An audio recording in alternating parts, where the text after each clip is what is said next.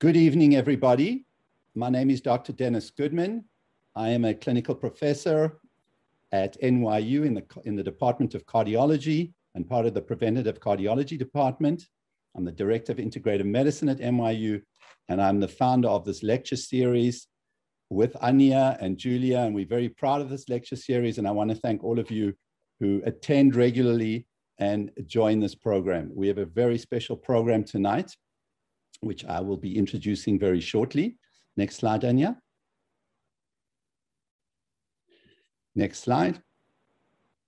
So one important thing for you to know is that if you want to ask a question, I'm sure many of you are used to Zoom now in these very, very challenging, stressful times, and you go to the Q&A, not the chat box, but the Q&A. I already have several questions that were emailed to us. We're going to take some of those questions and if you have a question, please go to the Q&A box, write in your question, and I will do my best to ask as many questions as I can. Next slide. So this is our website, and uh, you can see what's coming up. Please register online so we can tell you what's coming up. The next program is called Seasonal Nutrition Eating Patterns, Wednesday, March the 31st, same time. And then we have another program, Preventing Heart Attacks, and strokes using uh, uh, tips for adopting healthy lifestyle using mobile tools and information technology. So that's April 28th. Next slide. Here's our website. Here's our email. We're on Twitter and we are very active on social media. So please, if you enjoy our programs, let people know about it because we are trying our very best to reach out to as many people as possible because we all believe in prevention. And the most important thing you can do to treat heart attacks and strokes and chronic diseases is to prevent it. And we have all the ways in which you do so at this lecture series. Next slide. So these are some of the past topics. You can see we've had over 50 programs now, update on diabetes, obesity, hormone therapy for men and women, nutrition and cardiovascular health. And I'm keep updating the topics. So if there's anything you'd like to hear about, please let us know. Next slide. So I'm about to introduce our speaker, but just before I do that, I want to just say thank you to Anya and to Michelle from Communications. Without them, this program wouldn't exist. Anya is an absolute rock star. I really appreciate everything she does. I also want to thank uh, Dr. Jeff Berger, who's the head of our prevention program, and Dr. Ed Fisher. Uh, before him, they've been incredibly supportive of this program, and we're all very, very proud of it tonight is very, very special for me. Um, and I am so delighted, Dr. Harmony Reynolds, that you've agreed to speak for us. This is American Heart Month, February. And so it was very special that we managed to get you during this month. Dr. Harmony Reynolds is an associate professor of medicine at NYU School of Medicine, where she serves as director of the Sarah Ross Soter Center for Women's Cardiovascular Research and Associate Director of the Cardiovascular Clinical Research Center. Dr. Reynolds' research career has been focused on mechanisms and outcomes of cardiovascular disease in women and testing treatment strategies for ischemic heart disease in clinical trials. She's particularly well known for her work in heart attack and chest pain with open arteries. That's very important to understand. Most of the time, when someone has a heart attack, we go in and we find out the artery is blocked. Well, in this particular situation, the arteries are open, and that creates a situation of tremendous difficulty understanding it. And Dr. Reynolds is an expert in this area, and she's going to be talking about that. She has received funding from the American Heart Association and the National Institutes of Health to study heart disease in women and the best diagnostic and treatment pathways for patients with heart disease. Her research has been featured in the New York Times, the Wall Street Journal, and on the major television networks. Her clinical efforts include general cardiology practice with a focus on cardiovascular disease in women and supervision of fellows in the Bellevue Cardiology Clinic. She's committed to education of medical students, residents, and cardiology fellows, and has mentored over 30 trainees in research. She's received her medical degree from the New York School of Medicine and completed her training in internal medicine and cardiology at NYU and Bellevue Hospital.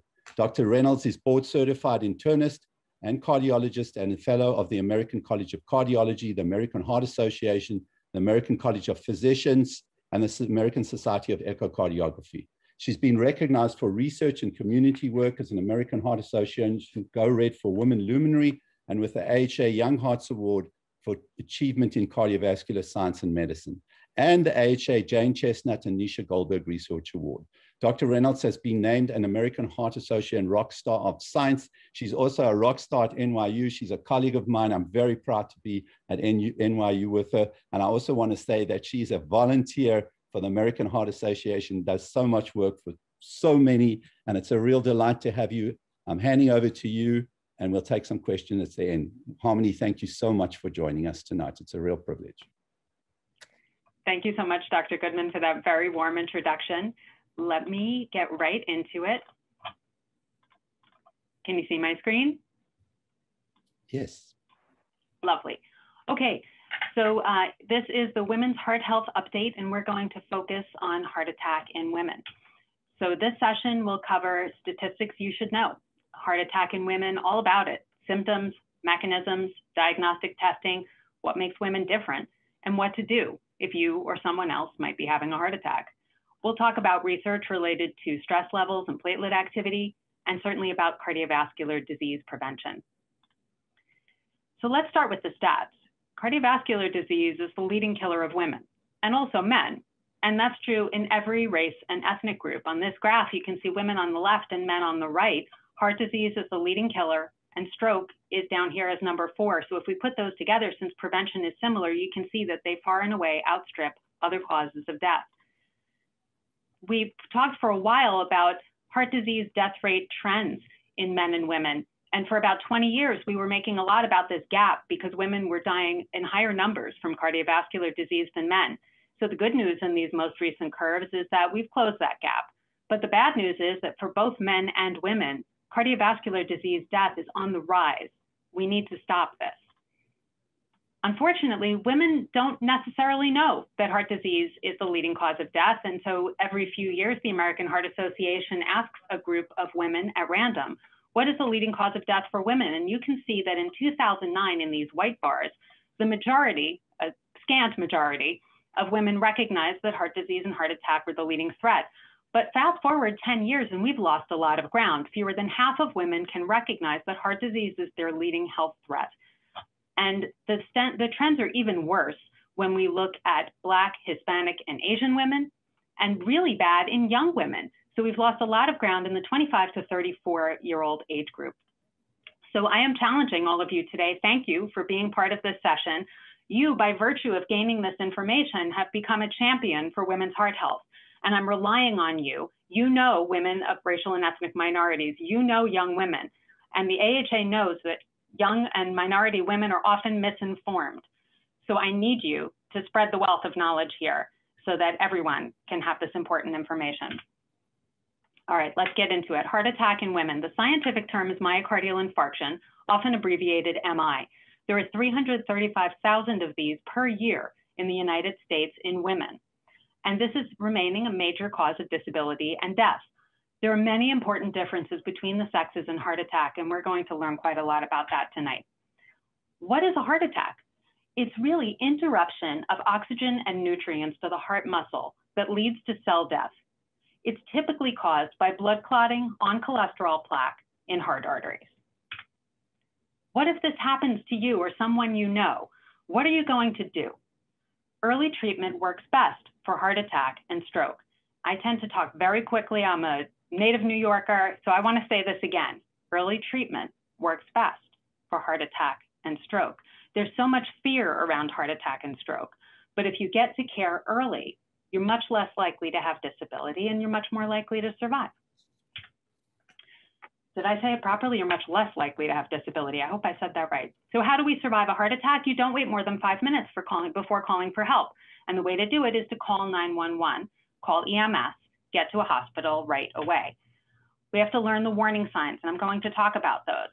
But if you're not sure about your symptoms, what you do is you go to the hospital and let a doctor decide, and you don't drive yourself because this is what happens if you're wrong, right? If you think that you're okay to drive yourself to the hospital, maybe you're right. And if you're right, great. But if you're wrong, you don't just hurt yourself, you potentially hurt somebody else. So don't drive yourself. What are the symptoms? Some heart attacks are sudden and intense. but most of them start slowly with mild pain or discomfort and one or more of these symptoms, chest pain or discomfort. And people often ask me, you know, I had a chest pain, it lasted a minute. Do you think that was a heart attack? Probably not. If uh, and definitely not. Heart symptoms have to go on for a period of time in order for them to be heart attack. I would expect the symptoms to go on for at least 15 or 20 minutes, or they may be coming and going. But when they start, you're not sure. And so if it's lasting more than five or 10 minutes, you need to call for help.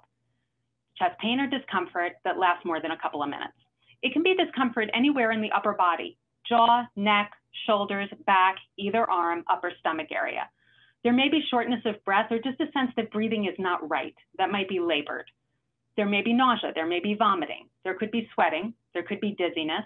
And people have this idea that there would be a sense that something is wrong, that if they were having a heart attack, they'd know.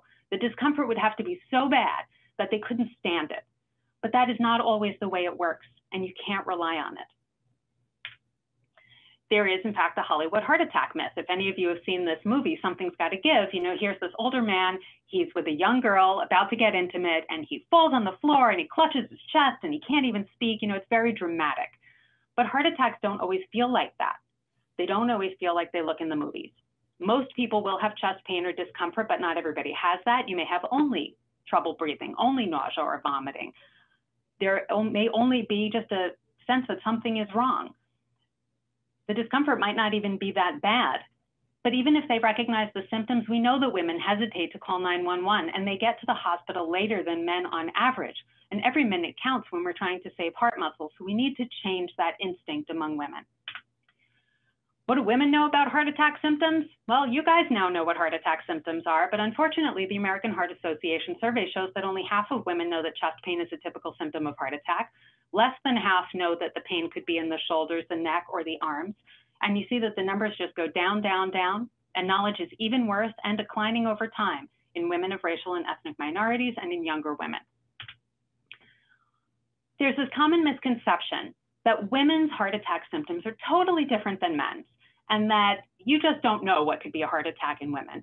That's not exactly the case. Now, it is true that if you look at these numbers from over a million women and men with heart attack. These bars show you the proportion of patients, each sex, in every age group that didn't have chest pain. And by chest pain, I include any kind of a discomfort feeling in the chest. And you can see that as we get older, we're more likely not to have chest discomfort with a heart attack. And at every age group, women are a little less likely to have chest pain than men, a little more likely to present in these bars with no chest pain. But most people have chest pain even if it's just a discomfort. So that difference between the sexes is actually not as strong as people used to believe. If most women have chest discomfort with heart attack, why is the diagnosis missed more often in women? And this is clearly the case. Recent research shows that women describe symptoms in a less uniform way. We're all our own unicorn. So I may describe something a little bit different than you may describe something a little bit different than somebody else does. And doctors rely on pattern recognition and they tend to lock in when they hear chest pain. But very often, I find that women are downplaying their symptoms. They're offering alternate explanations or they're apologizing for bothering the doctor. This kind of behavior tends to influence doctors subconsciously, I don't think it's conscious, to discount the symptoms. So instead, what I would like you or a friend to say if you needed medical attention for chest discomfort is Doctor, could this be a heart attack? Don't be afraid of the answer. Heart attack is treatable let's make sure we get the right diagnosis. This is from the American Heart Association's Don't Die of Doubt campaign. And I bring these up here because I hear these things all the time. It's still happening, even among people who have attended sessions like these and know the symptoms. When it comes to themselves or a friend, sometimes they don't see it as clearly. Women often say, I would feel, feel foolish calling an ambulance. Why? What on earth is an ambulance for if not for a possible heart attack? When there are false alarms in the emergency room, nobody minds. Everybody's happy, including the patient.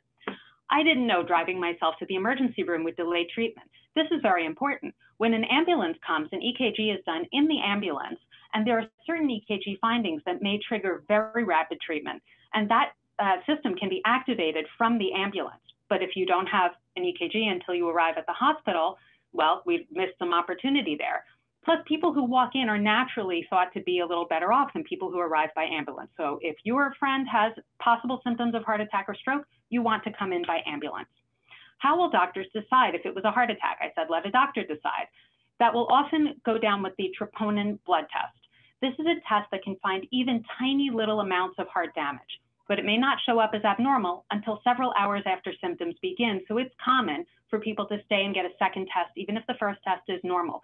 Don't walk out after the first test. Many people with heart attack will have a normal EKG.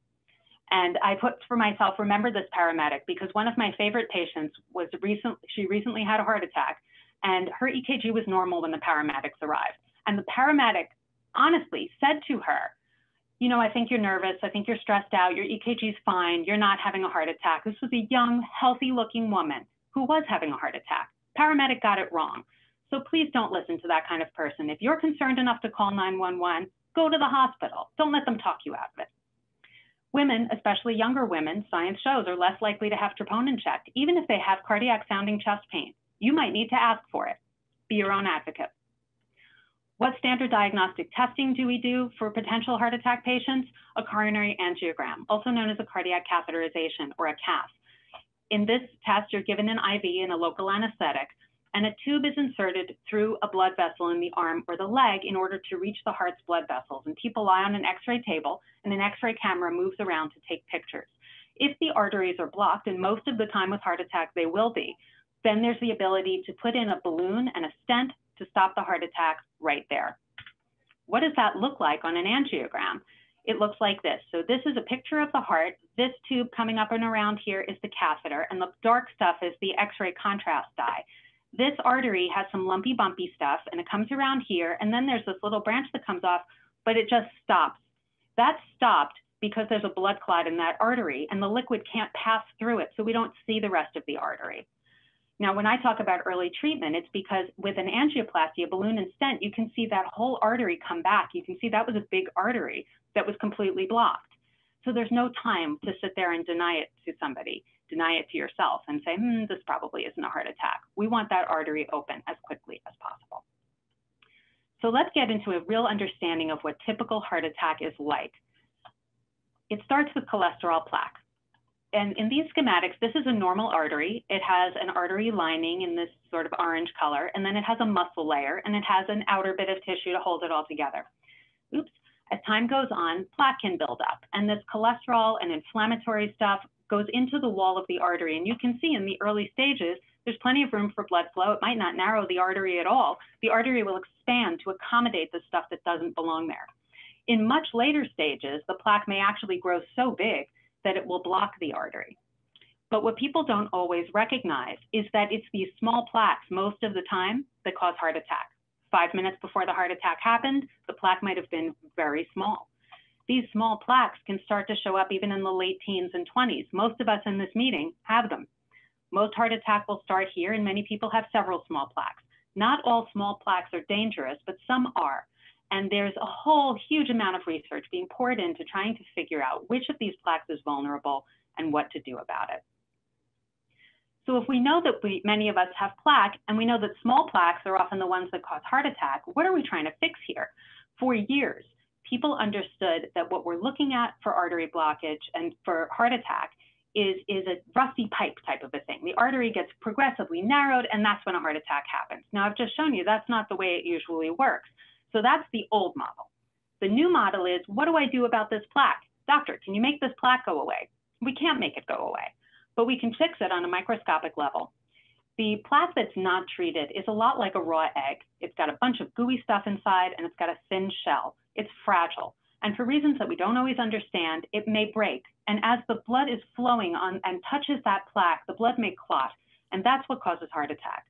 So what we need is not to make that plaque go away. We'd like to, but instead we need to change it on a microscopic level because this we can do. We can harden it, and it's a lot like hard boiling an egg. So the plaque is completely different inside, it's a lot less fragile, and it shouldn't pose a problem. This is how medication and lifestyle changes work with medication and lifestyle, we go from having a big pool of grease in the plaque with lots of inflammation and a thin cap over it to a smaller grease pool, less inflammation, and a thicker, safer cap over the plaque. Now let's talk about what makes heart attack different in women. There's a larger variety of causes of heart attack among women. Women get less testing and less treatment than men. Women have worse outcomes than men, and especially if we match young women to young men with heart attack, the women have worse outcomes. Stress is more severe and it has worse effects in women with heart attack.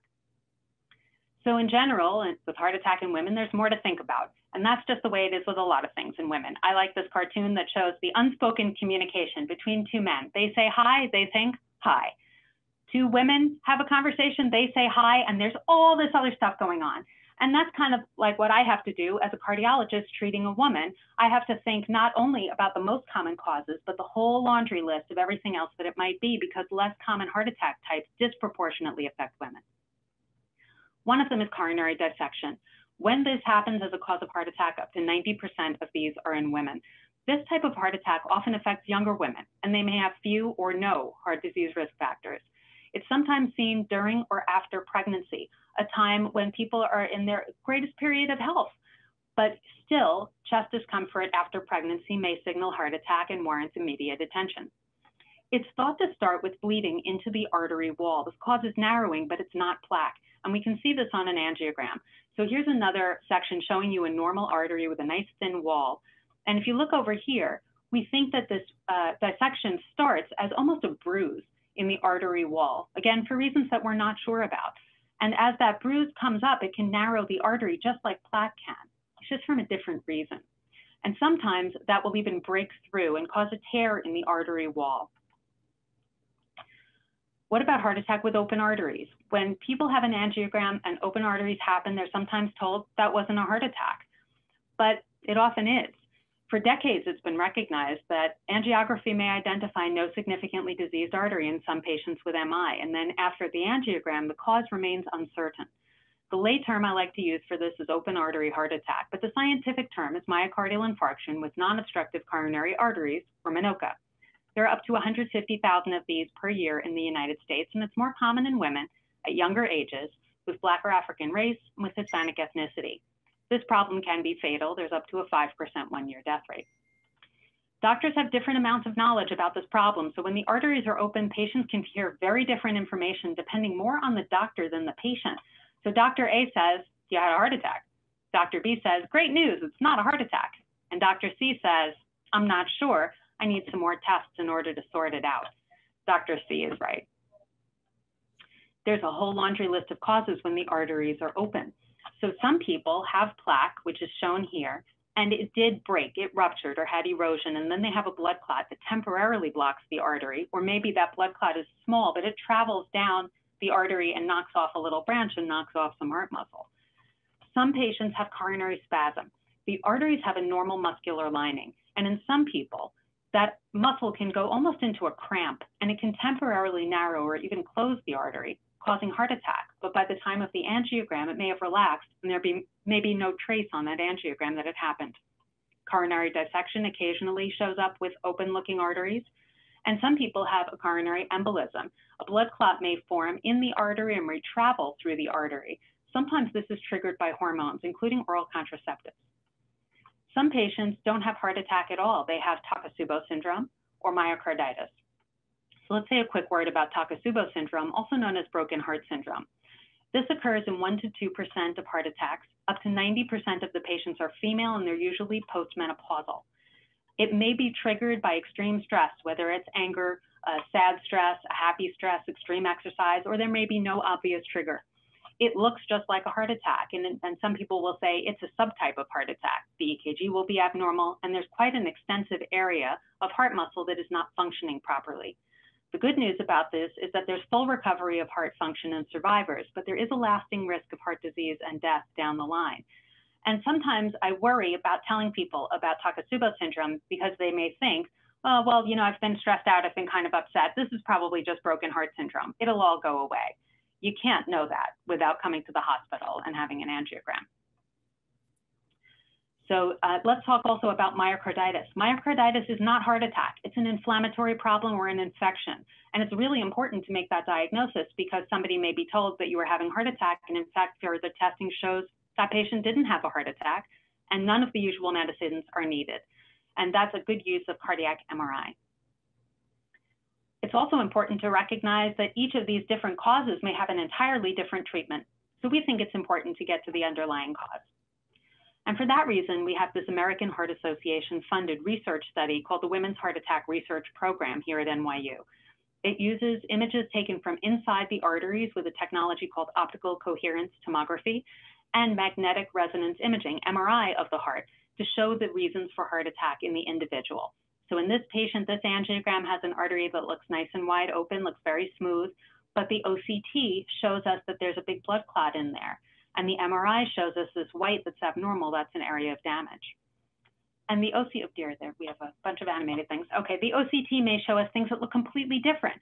It may show us a plaque, a small plaque like this that has a tear in it. I think you guys can see where the arrowhead is, that there is a break in that plaque, and the star shows us this goo that's inside the vessel. Some people have plaque erosion, It's kind of like a skinned knee on the artery that develops a blood clot. Here is an image from inside the artery of a coronary dissection. Some of the artery has been peeled away inside the center. And this is what a normal artery would look like. And we might see that, let's say, in somebody who had spasm and it went away. Cardiac MRI is really useful in differentiating different causes of heart attack. The black here is a normal heart, and it's sort of looked at in cross section, so it's supposed to look like a donut. This white part is an area of heart damage that we can tell is related to a blood vessel problem. We can't tell which blood vessel problem, but we know that that is heart damage from a blood vessel problem. Contrast that with this example in the center of myocarditis. You can see that these areas of white are much more patchy. They sort of skip and they spare the interior lining of the heart. And because the arteries come from the outside in, we can know that that is not a blood vessel problem. Also, we know where the blood vessels go, and in myocarditis, typically there are problems that go to different areas of heart muscle served by different arteries. Even if we don't see any signs of permanent damage, we may see some temporary signs of heart muscle swelling that can give us a signal about what happened. The earlier we do this test in somebody with heart attack and open arteries, the more information we may get. The results of our study that was American Heart Association funded showed that with these two tests, we could identify the reason for the heart attack presentation in 85% of the women. 64% of them had true heart attack, 20% had an alternate cause, wasn't a heart attack at all. Very different diagnoses. All right, let's turn our attention to stress and heart disease in women. High stress after a heart attack increases the risk of death two years later, so stress matters. And how does stress and heart disease work together in women? Well, women with heart disease report higher stress levels compared to men, and they tend to report different types of stress. For women, the most commonly reported areas for stress will be caregiving and conflict between work and family.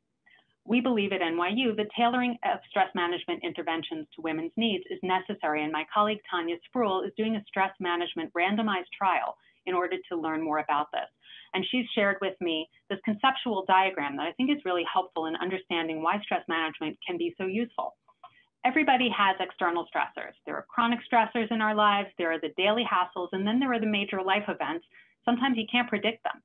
But that's different than the internal sense that you are overwhelmed and unable to cope. That's perceived stress. And it's that perceived stress that's uh, associated with an increased risk of death after heart attack because it has these consequences. It has emotional consequences like depression, behavioral consequences like poor sleep, and physiological consequences, including altered platelet activity that can predispose to blood clotting.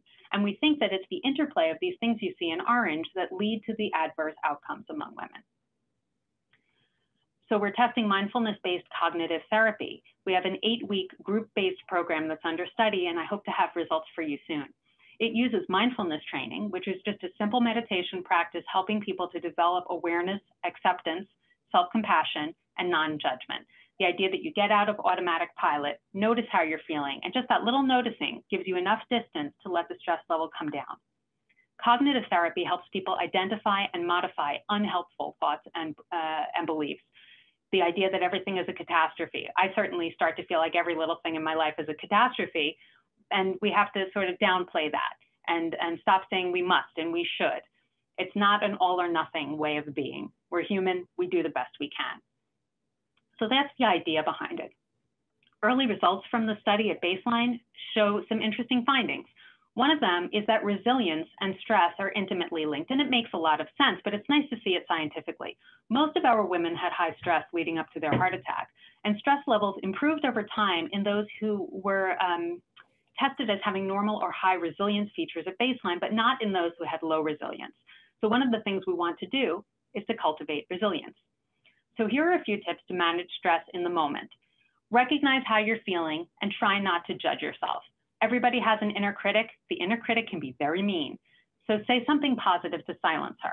Now, it's not like we're going to pretend everything is rosy when things are bad, but we need to use third person language, right? So instead of I can't do this, it's there is a long to do list for today. Not all of these things will get done. I will prioritize which things are most important.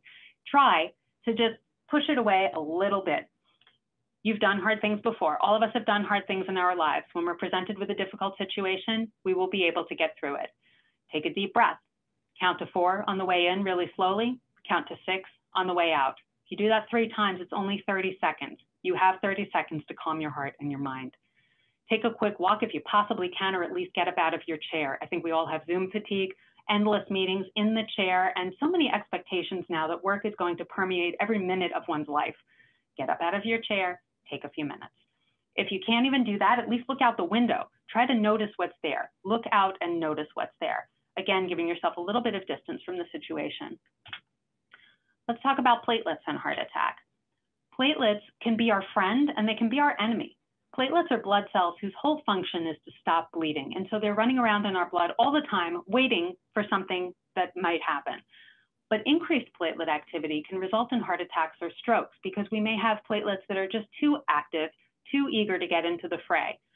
And platelets also play a role in blood vessel health and inflammation and immunity. They interact with all different types of cells, and that can regulate different processes. My colleague Jeffrey Berger at NYU, you heard from Dr. Goodman, he's the head of the Prevention Center, uh, is studying heart attack in women and how platelets relate to that and relate to different types of heart attack in comparison with controls. So we will hopefully have results uh, for you on that very soon. But so far, some tantalizing evidence. In these studies, Dr. Berger's laboratory took the blood, the circulating blood of women with heart attack and compared them to different types of heart attack on the right and Minoca versus control women on the left. And just to give you a sense, the red and the blue are different genes that are activated or being less activated. And you can see that there are really marked differences here. Just looking at the heat map, you can see a lot of differences he learned that the most likely pathway to be affected and to be different in heart attack with open arteries versus either closed artery heart attack or controls related to estrogen receptor signaling. So that's so interesting because women are more likely to get Minoca. Maybe there is a sign there. And others were often related to inflammation and atherosclerosis.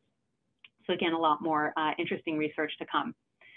And now in the remaining time, I want to spend a lot of time talking about heart disease prevention, because ultimately this is probably the most important thing I will say to you.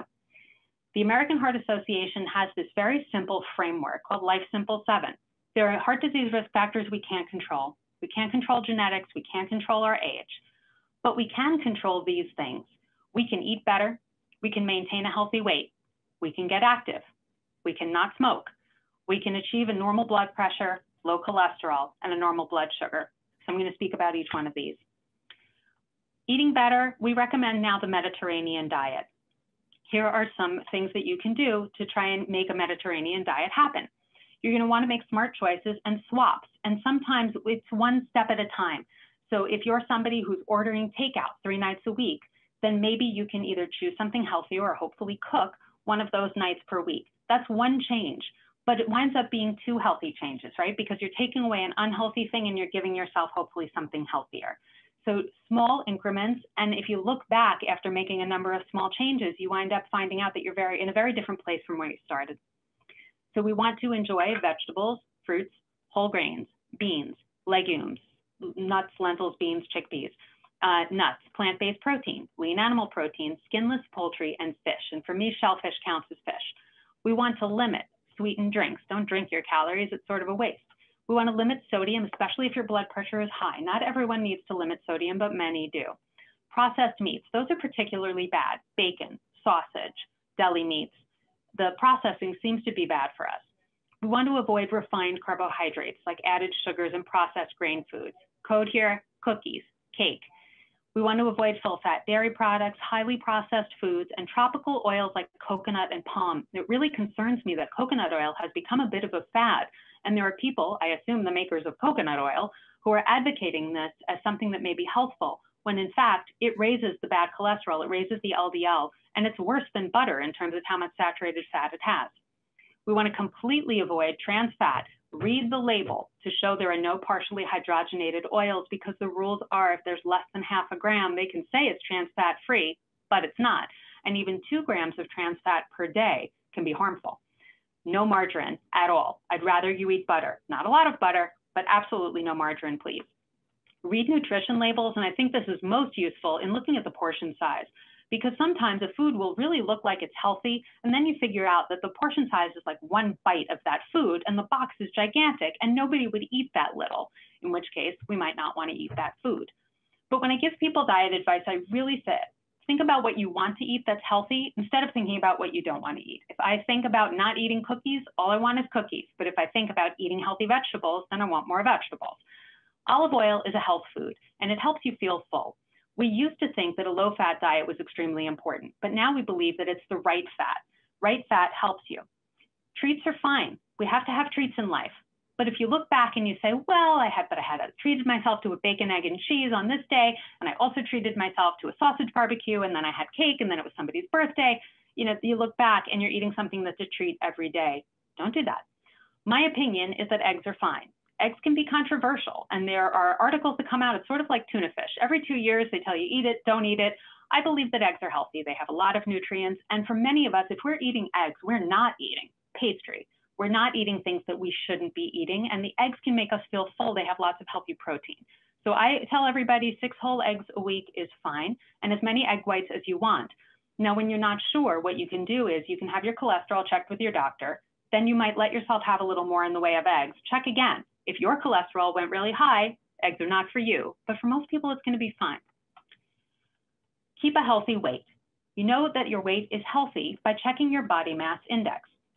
So I'm 5'6 if I weigh 130. My body mass index is 21 if I weigh 160.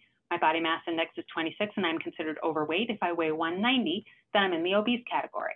There's a really wide range of healthy weights. So for my height, it's a 30 pound range of healthy weight.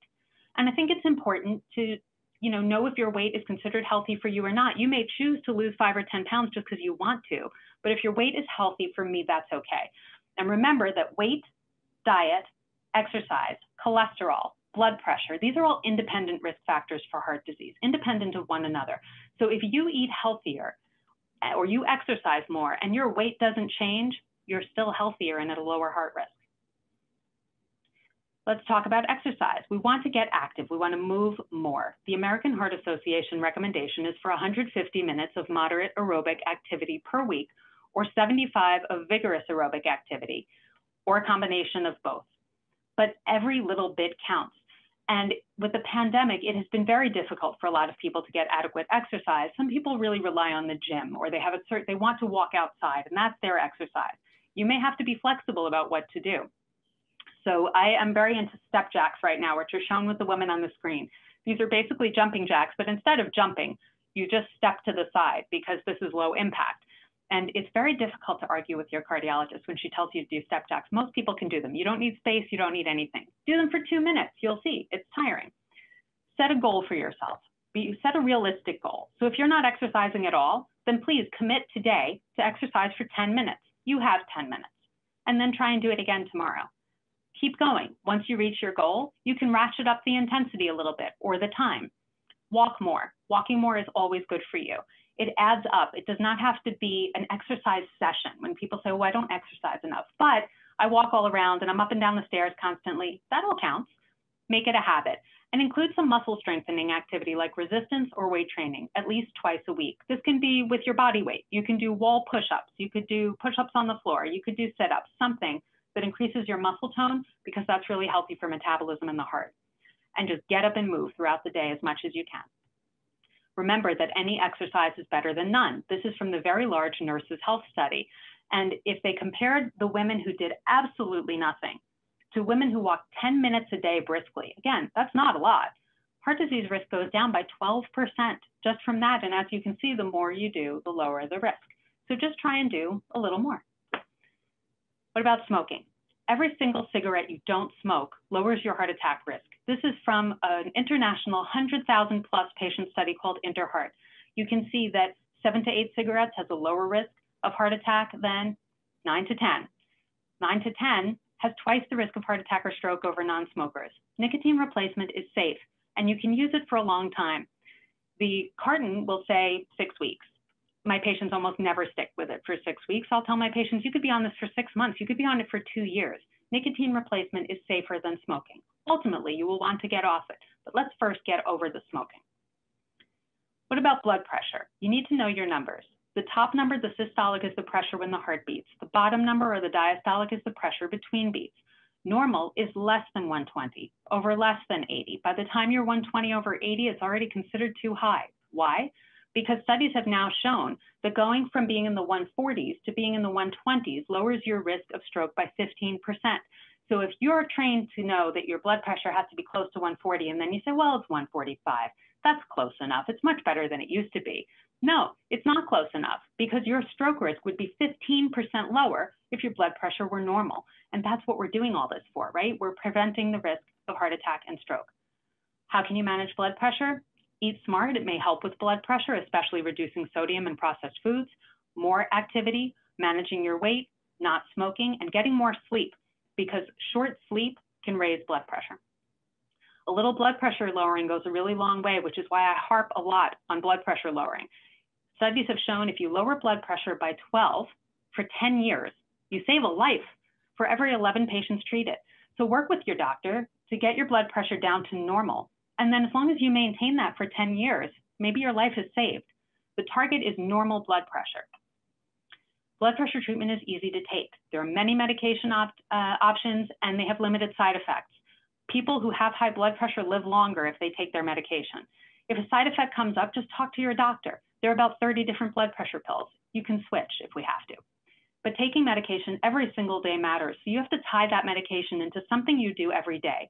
There are people who always have that morning coffee. Maybe you take your blood pressure with your coffee. There are people who always brush their teeth before they go to sleep. Maybe you put those pills by the toothbrush. Whatever it is you always do, no matter what, that's when you take your blood pressure medication because you'll remember.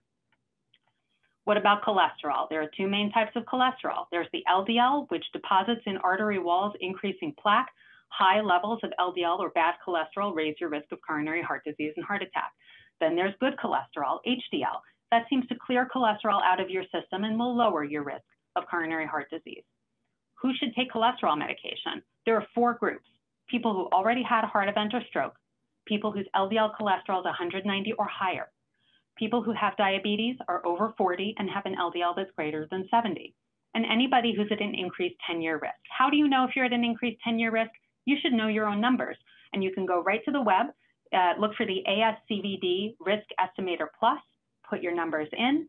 You know if you have diabetes or smoke or on blood pressure treatment, and it will spit out for you a 10 year risk of heart attack or stroke. If that risk is 7.5 or greater, you are somebody who should be on cholesterol lowering drugs unless there's a specific reason not to treat you. Many people have an intermediate range. They're at 5% or maybe even a 2.5%, but they may have a high lifetime risk because the calculator will tell you that as well. In those cases, additional imaging, like a coronary calcium score, may be useful in trying to tell whether you're somebody who would benefit from cholesterol lowering medicine now, or maybe you, if you want to wait till later. The target of LDL cholesterol is between 30 and 70. That's normal. Diabetes is important. It raises the risk of heart disease even more in women than it does in men. But medications and lifestyle measures work. So just to get a basic familiarity with the numbers, we're looking at a fasting blood sugar. If it's between 100 and 126, you're considered to have prediabetes. You want to implement lifestyle changes, diet, exercise. If it's above 126, then you get medication if you have diabetes, then use medications and diet and exercise to control it. Muscle strengthening exercise can be very important in preventing and treating diabetes because muscles can store blood sugar. Know your numbers and ask your doctor about new medication classes because they not only control diabetes, they also lower cardiovascular risk. You can ask for the GLP-1 agonists or the SGLT2 inhibitors, even if your A1C is fine. These may lower your risk. And if you can't remember the alphabet soup, it's fine. Doctors know which drugs have recently been shown to reduce risk. Be sure to have your eyes and feet checked regularly and take a statin because they're recommended for nearly all patients with diabetes because they reduce that increased risk. I want to say a few words about stroke, What is a stroke? A stroke happens when blood flow to the brain is interrupted either by a blood clot or by a burst blood vessel causing bleeding. The symptoms are sudden weakness or numbness of the face, arm, or leg, especially on one side of the body, sudden confusion or trouble speaking or understanding, sudden trouble seeing out of one or both eyes, sudden trouble with walking, dizziness, loss of balance or coordination, or a sudden severe headache with no known cause. What do you do if you think you might be having a stroke? Call 911.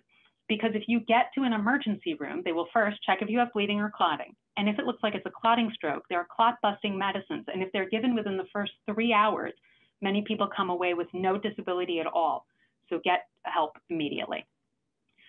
A quick word about how to talk to your doctor. You're in charge of your health. The doctor is not in charge, you're in charge. So tell the doctor about any symptoms you may be feeling. I think it's helpful to bring a list of questions and write down the answers, or at least bring someone with you who can help you remember what was discussed. I never mind if somebody brings a list of questions. We usually go over them quickly. We make sure all the issues are answered. You need to understand the recommendations of the doctor for medications or tests or whatever. We sometimes forget to use plain language and we use jargon. We don't mean to. But if you don't understand, say so. What else can you do? Please learn CPR. Be a good neighbor. Most out of hospital cardiac arrests happen at home, so you might be saving the life of a loved one. Effective bystander CPR provided immediately after an arrest can double the chances of survival for that victim. You don't need to do mouth to mouth. You can only do chest compressions. Those chest compressions move blood around and you can't hurt the person. They're in a very bad way. There's nothing else that's going to make them worse. You can only make the situation better. So please learn CPR. It's easy to learn, it's easy to do. And if something happens tomorrow and you haven't had a chance to learn CPR, the 911 operator may even be able to tell you how to do chest compressions, but please try to learn it before. So what's the most important information for you to take away today? Lead by example. Bring your family with you when you exercise. Eat healthy, eat together. Healthy habits start now. You're a role model, whether you recognize it or not. Tell someone what you learned today. I saw these commercials when I was a little girl right? If she tells her friends and then they tell two friends and they tell two friends, then everybody would know that heart disease is preventable and treatable. And at some point, maybe it won't be the leading killer of women. There are simple things that we can do. We can make little steps that improve our health and reduce our heart risk. The most common symptom of heart attack is chest discomfort, but it might not feel that bad and it might not even really be painful. Don't die of doubt. Early treatment of heart attack and stroke saves lives and makes a full recovery more likely. And that's still true even with the coronavirus pandemic. I know people are worried about going to emergency rooms, but calling 911 is still your best chance of surviving an emergency. Year in and year out, heart disease and stroke are the top two killers worldwide. Fast care is key to survival. ER workers know what to do, even when things seem chaotic. Nobody else is more important. You're really important, and we're very careful to sanitize. Thank you very much for your attention. Wow, Dr. Reynolds, that was a tour de force. I, I, I, don't know what to say, but that was an incredible amount of information. Uh, I've already received all sorts of texts and emails saying that was unbelievable. Some people are saying, can they have some of the slides, especially the ones on prevention? Because I think there was so much good information there. So maybe you'll share them. I have a question and I just love the way you answered it already. And I, but I do want to share it because this is how we teach. If one has coronary artery disease, can anything be done with lifestyle to stop it getting worse. And I'm really proud of the fact that you spent half your talk. You're an absolute world expert on women and heart disease, and not just women, because most of what you said applies to men as well. Maybe there's some differences in terms of the way women present and the mechanisms, but it's all about treating people and getting people to prevent having heart attacks and strokes. So maybe in one word, because I've got about five or six questions, the answer to that question is obviously yes. But what do you think are the most important things that we can do? I think one of the saddest things today is that cardiologists and a lot of doctors don't have time. And I know you do, and that's why you're a real doctor. We spend time, no matter what the situation, talking to patients about nutrition, exercise, and flexibility, stress management, and sleep, because these are the four parts of a stool that ultimately land up making people uh, get into a situation where they're less likely to have heart attacks and stroke. So that's the question. Can lifestyle changes prevent progression of heart disease? You bet. They certainly can. And I think you've shown that. One of somebody asked you, is it possible to take part in the MBCT study? the stress study, uh, and I do, I'm going to give out your phone number here, your the office number, in case somebody wants to see you or any one of our preventative cardiologists. The number is 212-263-7751. Is that the best way to reach you? Or what if someone wants to be part of the study? Okay, yes, great. that study at the moment we have just completed enrollment and we're waiting for data analysis, but it's likely that we will open up around two within the next six months or so. So um, you can list yourself on Research Match or you can send a message through clinicaltrials.gov. It's great that you want to participate in research. Everything that we know in cardiology, every treatment that we know works, we know it because of clinical trials. So I love to hear that people want to participate in research.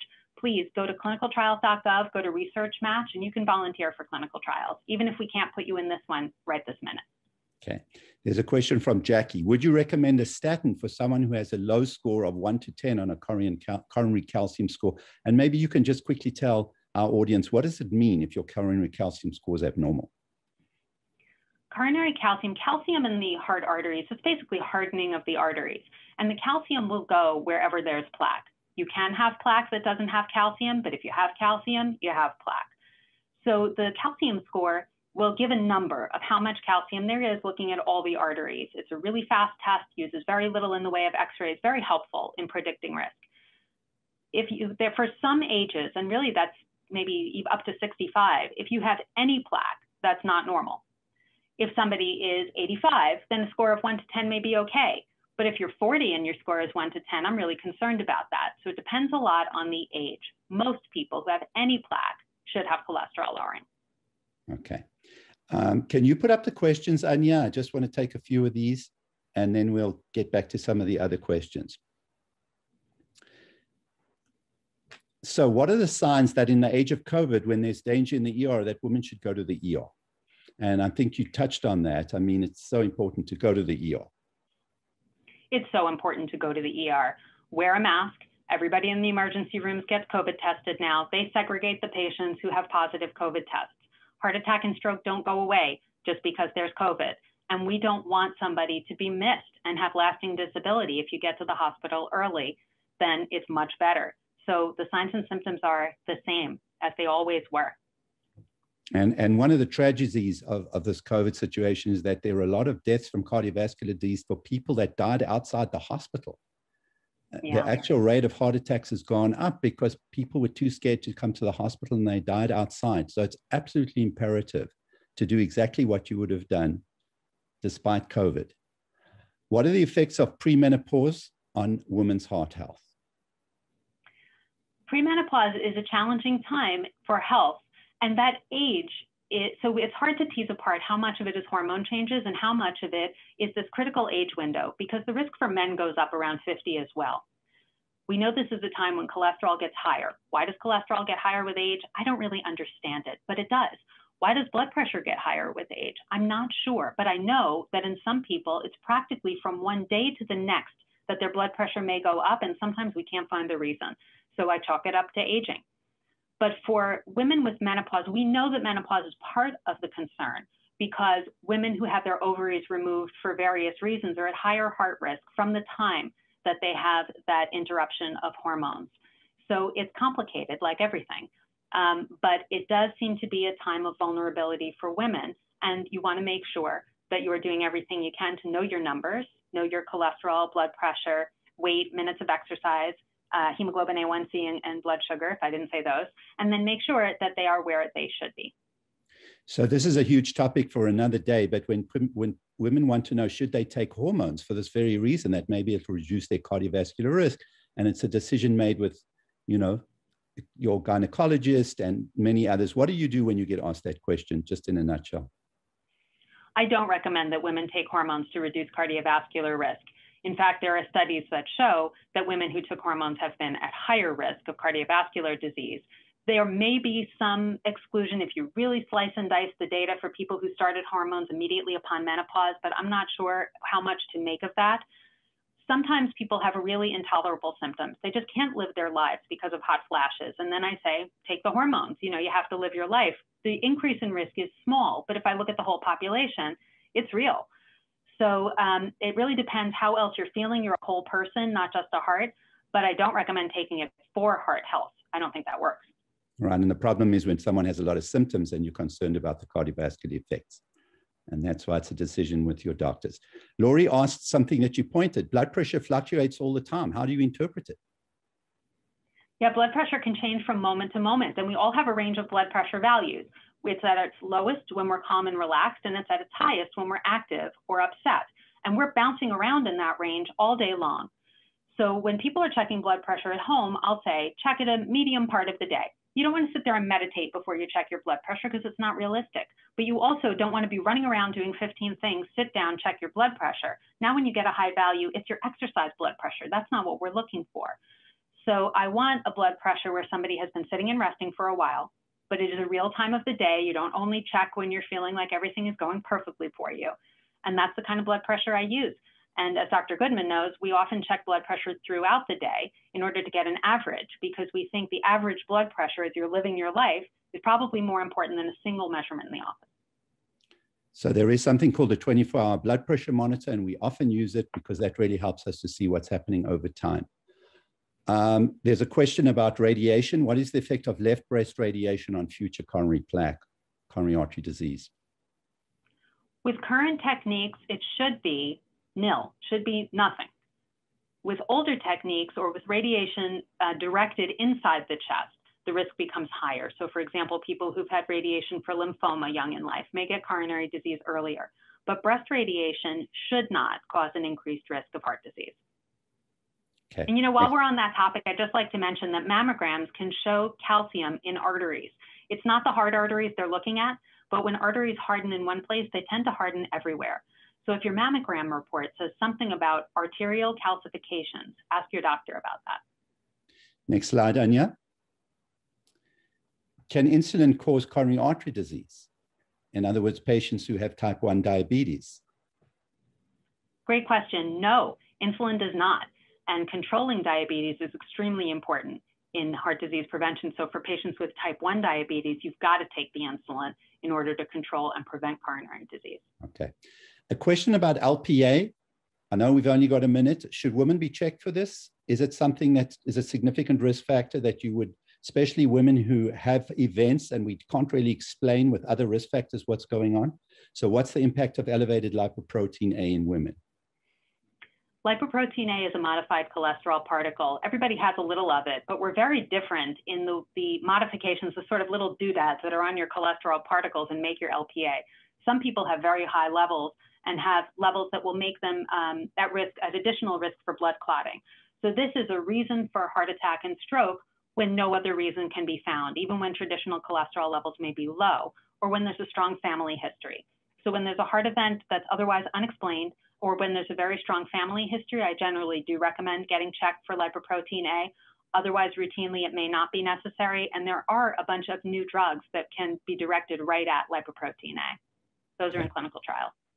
Do you believe that a plant-based diet, diet may be even more superior to Mediterranean diet when we've got all that evidence? Because people often come and ask us, they watch this movie Forks Over Knives. What do you say when someone says, I'll do whatever it takes? Yeah, that is a tough question. And I know that I'm partially biased by being somebody who really enjoys animal protein. I think fish is helpful. Studies show that fish is helpful. So a pescatarian diet is probably, in my opinion, the best, but I can't deny that there's research out there saying plant based is better, and, and I am not sure. If you're willing to do it, it's probably the best, but be careful because you can have vegan cookies, you can have only plant based cookies, and they can still be really bad for you. So um, it's most important to have a healthy balance of nutrients. Okay. I just want you to repeat one more time. There's a whole lot of people who are interested in coming to volunteer for research. So what, where do they go if you'd repeat those sites for them? Absolutely. Look for Research Match. Research Match lets you put in some information about yourself and will match you up with research studies that are recruiting. You can look at clinicaltrials.gov. If you've been given any diagnosis from A to Z, look for research studies that are uh, related to that diagnosis and you may be able to volunteer. And the other thing is uh, the American Heart Association's Research Goes Red. So you can sign yourself up and they will connect uh, you and inf- get information about you just through your phone. It's very low touch. And as research studies come up, they are offered to you. So that's in line with the menopause question because I'm one of the investigators of a Research Goes Red weight study. and we're looking at um, factors that influence weight change through the menopausal transition. So research goes red, research match, and clinicaltrials.gov. And don't forget, we're both wearing some red today because we're focusing on women and heart disease, but we're interested in preventing heart disease for both sexes. We spend a lot of time and energy trying to get the word out about women and heart disease. And Harmony, you're an absolute rock star. It's a privilege to have you on in our series and to be part of the NYU and the prevention program. So I want to thank you so much on behalf of everybody for coming to talk to us. A lot of you have sent in questions, personal questions about aortic stenosis, regurgitation, arrhythmias. Here's the number to call our, our, our department, 212-263-7751. You can make an appointment to see Dr. Reynolds. She's very busy. It might take a while, but there's several cardiologists who will be happy to see you, and we will spend a lot of time talking to you about prevention. Thank you so much. Thanks to Anya, and thank you everybody for listening. Please don't forget to contact us at hearthealth at nyulangone.org. We'll tell you about future programs, and we look forward to seeing you again for our nutrition program on March 31st. Good night. Thanks, everybody. Thank you very much.